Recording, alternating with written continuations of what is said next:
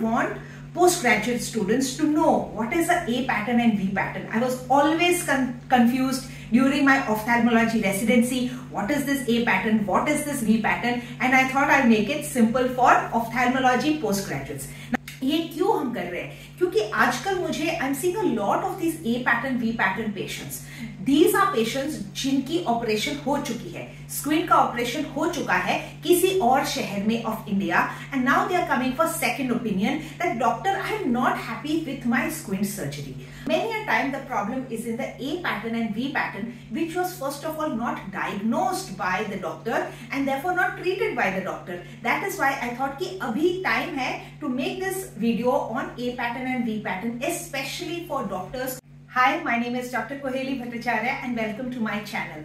Today we are going to be talking about something quite difficult. काफ़ी complicated वाला topic है जो है A and V pattern squint. Now, why am I making a video on this and इसके पहले why have I not made a video on this before?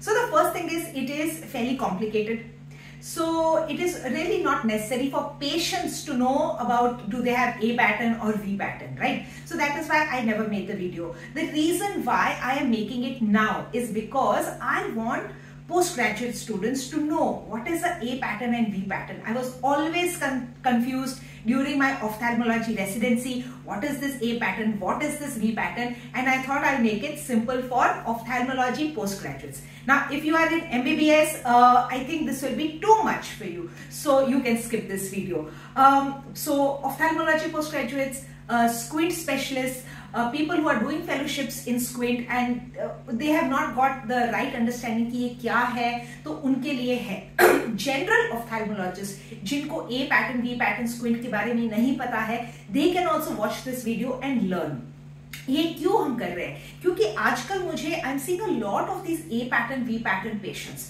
these are patients जिनकी operation हो चुकी है. स्क्वीन का ऑपरेशन हो चुका है किसी और शहर में of India and now they are coming for second opinion that doctor I am not happy with my squint surgery हुआ तो है operation but I am not happy and the doctors are unable to diagnose what is the problem they are like primary gaze method there is no squint so what is the problem with the patient and many a time the problem is in the a pattern and v pattern which was first of all not diagnosed by the doctor and therefore not treated by the doctor that is why i thought ki abhi time hai to make this video on a pattern and v pattern especially for doctors who are treating squint in other cities also for patients who are very knowledgeable uh, कुछ patients खुद ही आते हैं and कहते हैं कि I think I have a pattern isotropia or a pattern exotropia.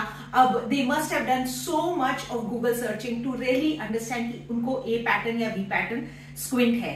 Uh, so that is why we are making this video. So let's get into it. Bit complicated but I'll go slow. ठीक है. So A pattern and V pattern. Let's first cover A pattern. A pattern का मतलब है कि when you look up, eyes go in and when you look down, eyes go out like a A, right? Like an A. Simple. So that is A pattern. When you look up, eyes go in. When you look down, eyes go out. Now, if you have A pattern exotropia, right? Exotropia hai, in primary gaze, eyes are out. That is when we say it's exotropia. अब A pattern में that means the exotropia becomes lesser when you look up. So better in up gaze. When you look up, it is better. Now, if this is better, then the chin will drop, chin down, so that we can get this up gaze in primary gaze. So, the patient will have a chin down position in A pattern exotropia because the squint is better in up gaze. Okay, all these three may come to you as a MCQ, as a Viva question. So, this is very important.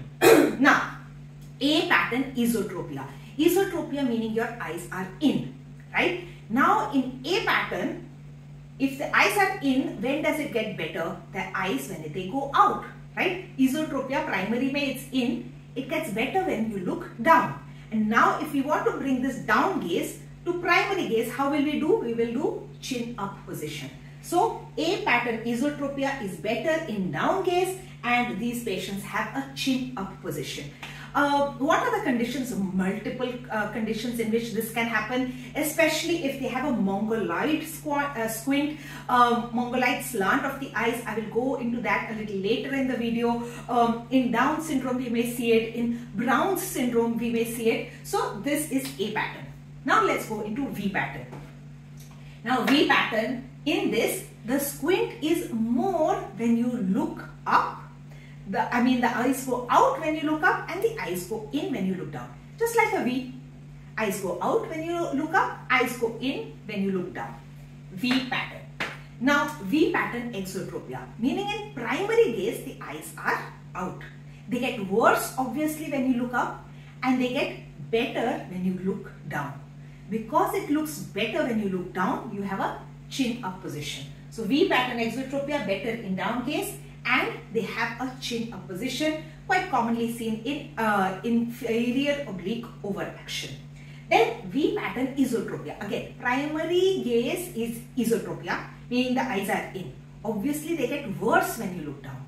They get worse when you look down and they are better when you look up. So the V, which was iso, is slightly better when you look up. And that is why you tend to have a chin down position. So V pattern, isotropia better in up gaze and chin down position. And this is commonly seen in superior oblique palsy who have a lot of double vision when they're looking at a book, when they're going down steps because they have this V pattern isotropia. Maybe in primary case they are completely normal. They're completely okay and the person who's checking them, they're like, you don't have anything. But because you've not checked them in up gaze and down gaze, you miss these V patterns and A patterns of the squint and really when the patient is going down the steps they're having a problem because they're seeing double. When they're reading a text because they're seeing down, they have a problem, right? So a simple way to see if there is a palsy over there or multiple other reasons why you may have V-pattern esotropia. So I hope this helps you to understand chin up, chin down, which is better. And the best thing to see is, is your squint different when you look up and when you look down. Now let's go into how to treat this. Now let's go into the treatment of A pattern and V pattern squint. Now, अगर आप patient हैं तो आप आपके doctor को नहीं बताएँगे कि क्या ऑपरेशन करना है right you will trust that the doctor will know आपका काम है just to let the doctor know that doctor मेरा squint is worse when I look up और worse when I look down just इतना. या फिर मुझे डबल दिखता है, ज़्यादा जब मैं ऊपर देखता हूँ या फिर नीचे देखता हूँ. ये if you tell the doctor this they will be looking for A pattern and V pattern बस इतना ही। You do not need to go into कैसा ऑपरेशन होगा, कौन सा ऑपरेशन होगा, कौन करेगा, कैसे होगा लेजर से होगा कि नहीं।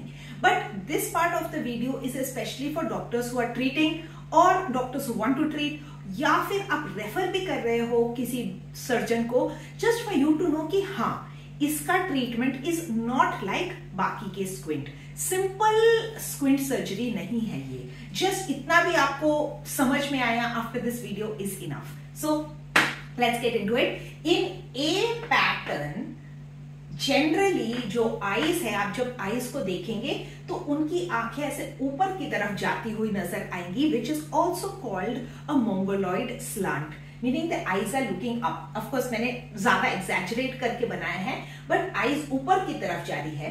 कई बार ऐसा होता है। ऐसे में जो मीडियल रेक्टस है मीडियल रेक्टस मसल्स है those you want to move up right if you are operating on the medial rectus and जो लैटरल रेक्टस मसल्स है those you want to move down so that you are just trying to make it straight eyes ऐसी थी mongoloid slant था but inside जब आप muscles को operate कर रहे हो you want to make it straight the same thing when you have a V pattern V pattern squint है तो उसमें जो है वो एंटी मोंगोलाइज स्लांट है of course I have exaggerated it just to show you तो इसमें obviously the other way round surgery होता है.